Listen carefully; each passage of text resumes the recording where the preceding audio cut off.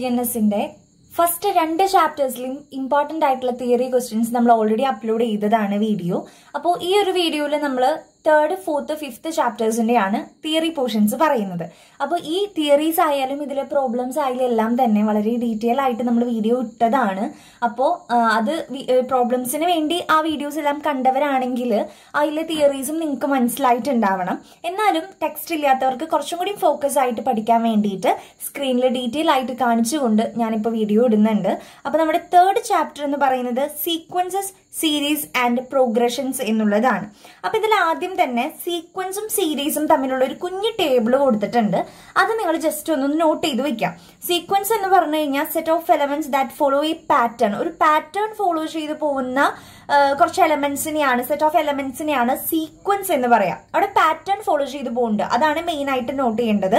Series എന്ന് പറയുമ്പോൾ sum of elements of the sequence ഒരു സീക്വൻസിലെ സം ഓഫ് എലമെന്റ്സിനെയാണ് നമ്മൾ എന്തെന്ന് പറയാ?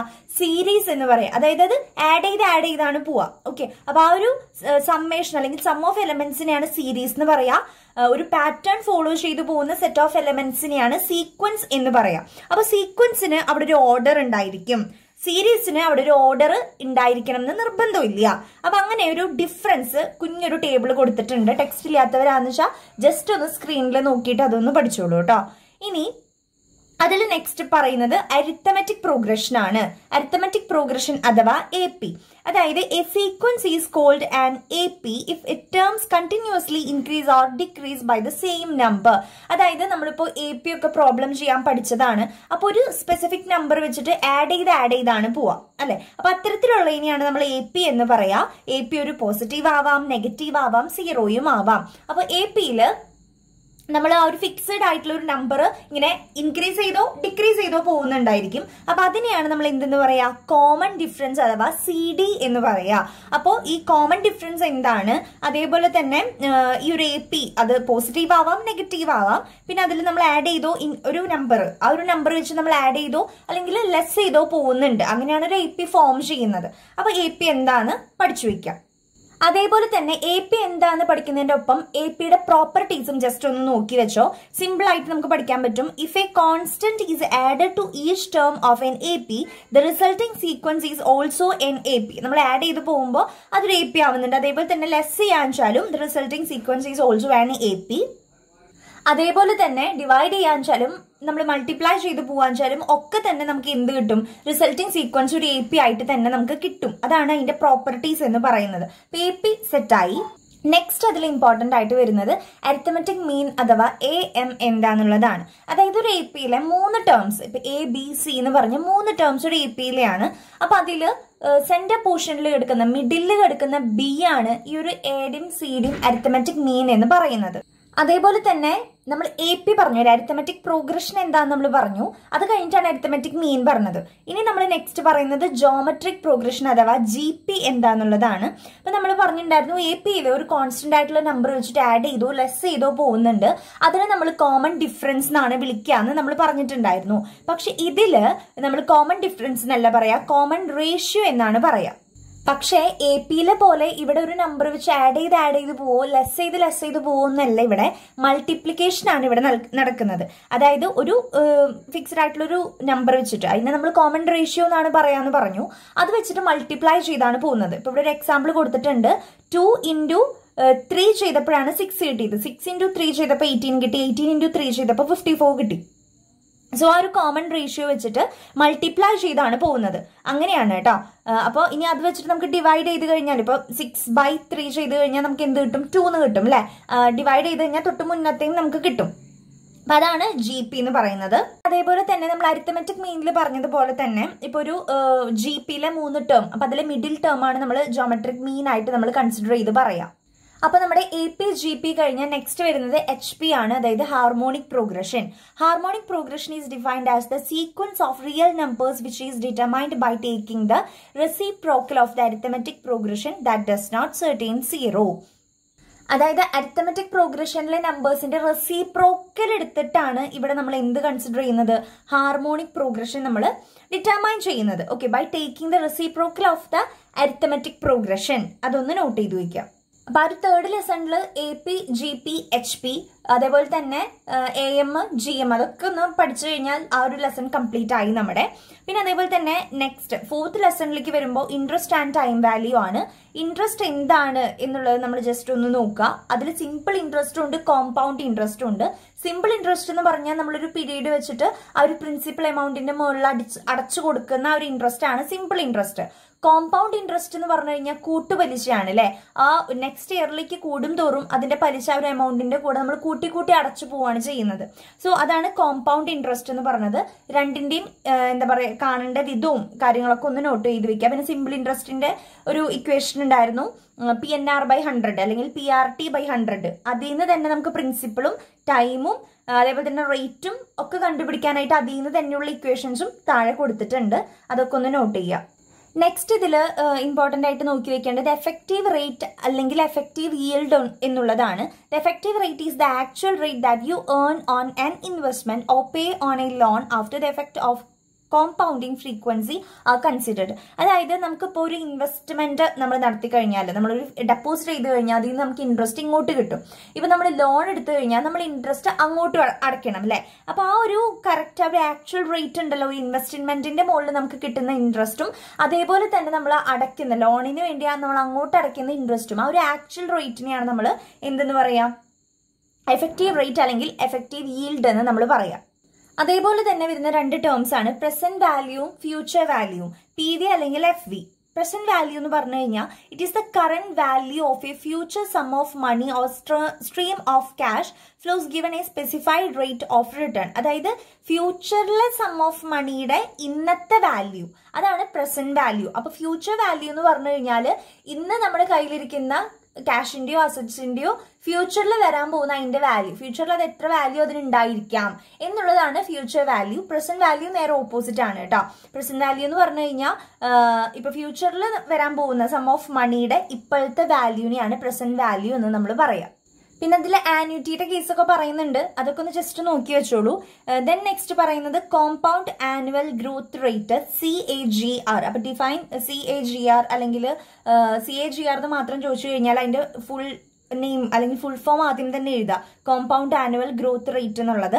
Compound annual growth rate is the rate of return that would be required for an investment to grow from its beginning balance to the ending balance beginning ബാലൻസിൽ നിന്ന് എൻഡിങ് ബാലൻസിലേക്ക് അതിനെ grow ചെയ്യാനുള്ള ആ ഒരു റേറ്റ് ഓഫ് റിട്ടേണിനെയാണ് നമ്മൾ എന്തെന്ന് പറയുന്നത്? കോമ്പൗണ്ട് ആനുവൽ ഗ്രോത്ത് റേറ്റ് എന്ന് പറയുന്നത്. അത് ആ സെന്റൻസ് തന്നെ ഒന്ന് കാണാൻ കാണാണ്ട് പഠിച്ചു വെക്കുക പിന്നെ അതിൽ ലാസ്റ്റ് പോർഷനിൽ വരുന്ന ഒരു തിയറിയാണ് ഇ എം ഐ അപ്പൊ ഇ എം ഐയും ഈ ഒരു നമ്മൾ നേരത്തെ പറഞ്ഞ സി എ ജി ആറും ഈ രണ്ട് ടേംസും അത് ചിലപ്പോൾ ഷോർട്ട് ഫോംസ് ആയിരിക്കും തരിക. അപ്പൊ ഫുൾ ഫോം നമ്മൾ പഠിച്ചു വെക്കണം കേട്ടോ ഇ എം ഐ എന്ന് പറഞ്ഞു കഴിഞ്ഞാൽ ഇക്വേറ്റഡ് മന്ത്ലി ഇൻസ്റ്റാൾമെന്റ്സ് എന്നാണ് അതിന്റെ ഫുൾ ഫോം വരുന്നത്. അതായത് it is a fixed payment amount made by the borrower to a lender at a specified date each calendar month നമ്മളിപ്പോൾ ഒരു ടി വി ലോണിന് എടുത്തു കഴിഞ്ഞാൽ നമ്മൾ കുറച്ച് എമൗണ്ട് ആദ്യം തന്നെ അടച്ചു കഴിഞ്ഞിട്ടുണ്ടായിരിക്കും. ബാക്കിയുള്ള ബാലൻസ് എമൗണ്ട് മന്ത്ലി നമ്മൾ അടച്ചു കൊടുക്കും അല്ലെ? ഒരു കറക്റ്റ് ഡേറ്റിന് ഇപ്പം ഇരുപത്തി ആറാം തീയതി എന്ന് വെച്ചാൽ ഇരുപത്തി ആറാം തീയതി തന്നെ നമ്മൾ കറക്റ്റ് ആ ഡേറ്റിന് നമ്മൾ സെർട്ടൻ എമൗണ്ട് നമ്മൾ അടച്ചു കൊടുക്കുകയാണ് ചെയ്യുന്നത് അല്ലെ? അപ്പൊ അതിനെയാണ് നമ്മൾ എന്തെന്ന് പറയുന്നത്? E M I equated monthly instalment monthly ആണ് നമ്മൾ ഇ എം ഐ അടയ്ക്കുക അല്ലെ? അങ്ങനെയാണ് നമ്മൾ പറയാറ്. തന്നെയാണ് അതിന്റെ ഫുൾ ഫോം ആയിട്ട് വരുന്ന ഇക്വേറ്റഡ് മന്ത്ലി ഇൻസ്റ്റാൾമെന്റ്സ് എന്നാണ് കേട്ടോ. അപ്പൊ അതാണ് അതിന്റെ തിയറി അപ്പൊ അതും ജസ്റ്റ് ഒന്ന് നോട്ട് ചെയ്ത് വെച്ച് കഴിഞ്ഞാൽ ഫോർത്ത് ചാപ്റ്ററിലെ തിയറീസ് കംപ്ലീറ്റ് ആയി എന്ന് നമുക്ക് പറയാം. Let's go to the fifth chapter അതിൽ ഇമ്പോർട്ടന്റ് ആയിട്ട് വരുന്നതാണ് മെഷേഴ്സ് ഓഫ് സെൻട്രൽ ടെൻഡൻസി എന്താണെന്നുള്ളൊരു കാര്യം. A single value which can represent all set of data is called average നമുക്കറിയാം ഒരു എന്താണ് ഓൾ സെറ്റ് ഓഫ് ഡാറ്റേനെ റെപ്രസെന്റ് ചെയ്യാൻ പറ്റുന്ന ഒരു സിംഗിൾ വാല്യൂ അല്ലേ ഇപ്പോൾ ഒരുപാട് ആൾക്കാരുണ്ടായിരിക്കും അതിൽ നിന്ന് ഒരാളെ നമ്മൾ സെലക്ട് ചെയ്യുന്നു. ഒരു സിംഗിൾ വാല്യൂവിനെ നമ്മൾ സെലക്ട് ചെയ്യുന്നു. സാമ്പിൾ നമ്മൾ നമ്മൾ പറയും. ഒരു സിംഗിൾ വാല്യൂവിനെ നമ്മൾ എടുത്തിട്ടാണ് ആ ഒരു ഓൾ സെറ്റ് ഓഫ് ഡാറ്റയെ നമ്മൾ ഡിഫൈൻ ചെയ്യുന്നുണ്ടായിരിക്കും അല്ലെങ്കിൽ മെഷർ ചെയ്യുന്നുണ്ടായിരിക്കുക.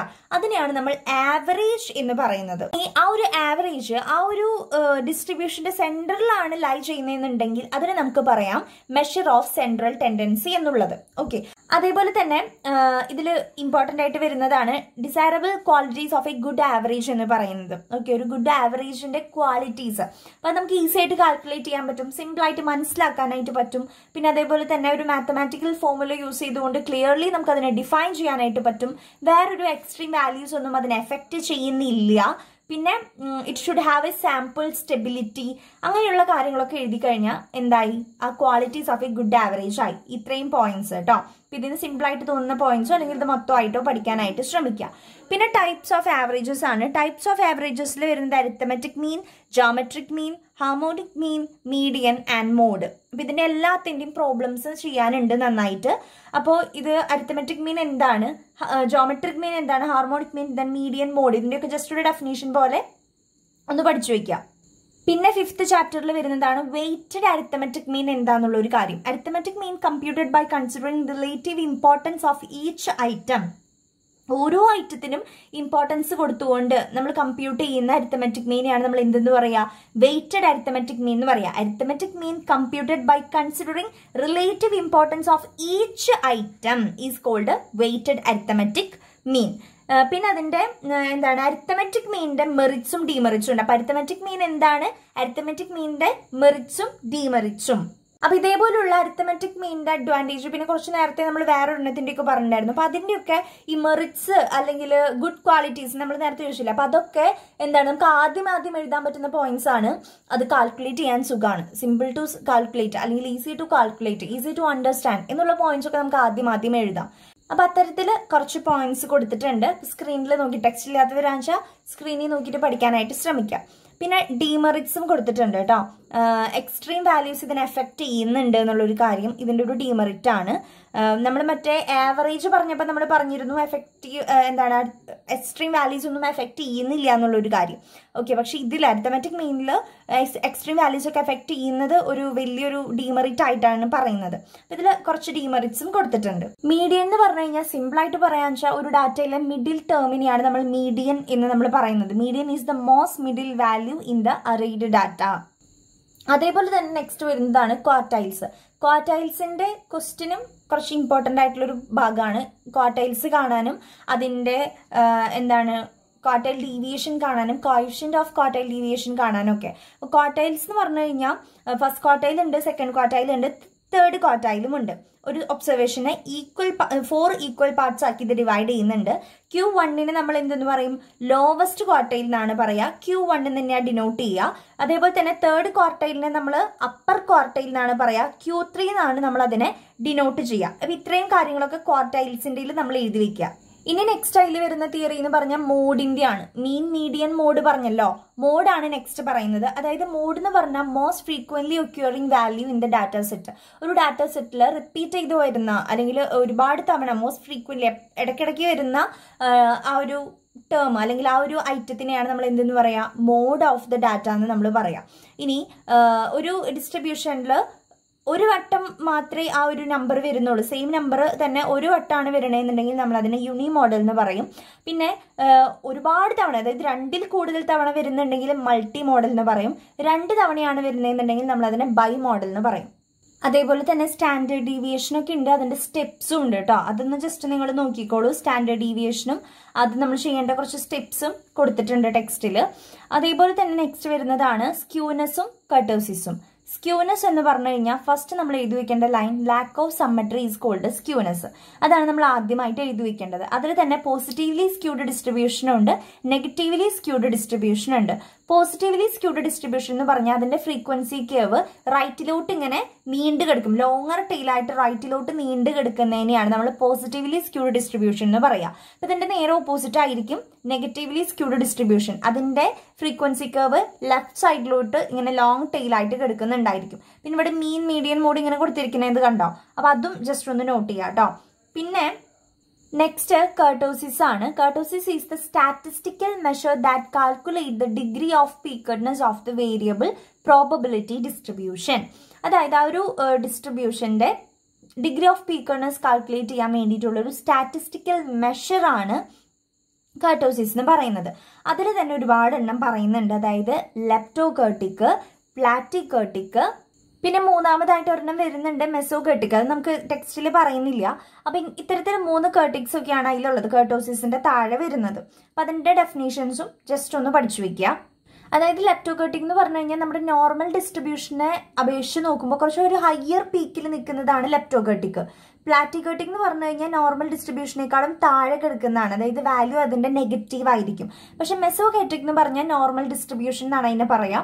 അതായത് അതിനോട് കറക്റ്റ് ഈക്വൽ ആയിട്ട് നിൽക്കുന്നതാണ് മെസോകേട്ടിക് എന്ന് പറഞ്ഞു കഴിഞ്ഞാൽ. അത് ജസ്റ്റ് പഠിക്കേണ്ട ആവശ്യമില്ല. ഈ ലെപ്റ്റോകേട്ടിക്കും പ്ലാറ്റികേട്ടിക്കും കേർട്ടോസിസ് എന്താണെന്നുള്ളതും പിന്നെ സ്ക്യൂനസ് എന്താണെന്നുള്ളതും ഇത്രയും പോർഷൻ ലാസ്റ്റ് ഭാഗത്ത് നിന്ന് പഠിച്ചു വെക്കുക. അതേപോലെ തന്നെ മെഷർ ഓഫ് ഡിസ്പേർഷനും ഉണ്ട്. അതിൽ തന്നെ രണ്ടെണ്ണുണ്ട്. ആബ്സല്യൂട്ട് മെഷർ ഓഫ് ഡിസ്പേർഷനും റിലേറ്റീവ് മെഷർ ഓഫ് ഡിസ്പേർഷനും അതൊക്കെ നമ്മൾ ഡീറ്റെയിൽ ആയിട്ട് പറഞ്ഞിട്ടുണ്ടായിരുന്നതാണ്. അതായത് നമ്മുടെ ആ ഒരു ഏവറേജ് വാല്യൂവിൽ നിന്ന് എത്രത്തോളം സ്കാറ്റർ ആയിട്ട് അതായത് സ്പ്രെഡ് ആയിട്ട് കിടക്കുന്നുണ്ട്. അതാണ് ഈ ഒരു measure of dispersion or variation എന്ന് പറയുന്നത്. നമ്മുടെ ആ ഒരു സെന്റർ വാല്യൂവിലായിരിക്കുമല്ലോ ആവറേജ് എന്ന് പറയുന്നത്.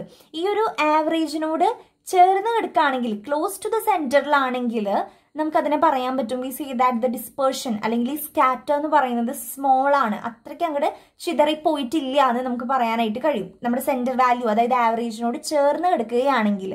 ഇനിയിപ്പോ അകലെ കുറച്ചും കൂടി സ്പ്രെഡ് ആയിട്ടാണ് ഈ ഒബ്സർവേഷൻസ് കിടക്കണമെന്നുണ്ടെങ്കിൽ ഇവിടെ പറഞ്ഞിട്ടുണ്ട് if the observations are spread away from the centre centre അതായത് ആവറേജിൽ നിന്ന് കുറച്ചും കൂടിയും സ്പ്രെഡ് എവേ ആയിട്ടാണ് ഈ ഒബ്സർവേഷൻസ് നിൽക്കുന്നതെന്നുണ്ടെങ്കിൽ നമുക്ക് പറയാൻ കഴിയും ഈ ഡിസ്പേർഷൻ എന്ന് പറയുന്നത് ലാർജ് ആണ്.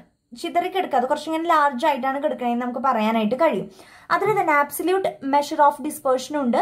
റിലേറ്റീവ് ഉണ്ടെന്ന് നമ്മൾ പറഞ്ഞിട്ടുണ്ടായിരുന്നു അപ്പോൾ ഈ ഒരു ആബ്സല്യൂട്ട് മെഷറിന്റെ ഉള്ളിൽ വരുന്നതാണ് range quartile deviation mean deviation standard deviation variance ഒക്കെ കേട്ടോ ഓക്കെ അപ്പൊ ഇത്രയും പോർഷൻസ് ഒക്കെ ഒന്ന് ഡീറ്റെയിൽ ആയിട്ട് തിയറി നോക്കി കഴിഞ്ഞാൽ നമ്മുടെ ഫസ്റ്റ് ചാപ്റ്റർ മുതൽ ഫിഫ്ത് ചാപ്റ്റർ വരെയുള്ള തിയറീസ് ആയി. ഫസ്റ്റ് പാർട്ട് വീഡിയോ നമ്മൾ ഓൾറെഡി അപ്ലോഡ് ചെയ്തിട്ടുണ്ടായിരുന്നല്ലോ.